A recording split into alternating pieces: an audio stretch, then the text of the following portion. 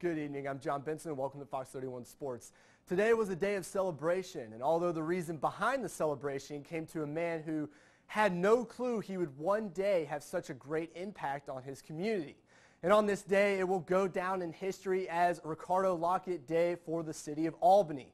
Friends, family, and anyone who helped mold the man Ricardo Lockette is today all piled in the Albany Civic Center for the city of Albany to make it official that today will forever be known as Ricardo Lockette Day.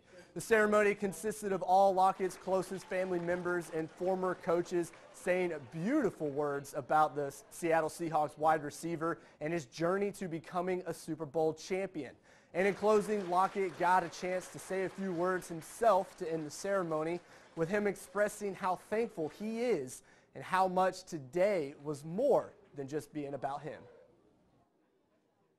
Never thought that I would have my own day in Albany, Georgia. You know, but uh, like I said before, it's not about me.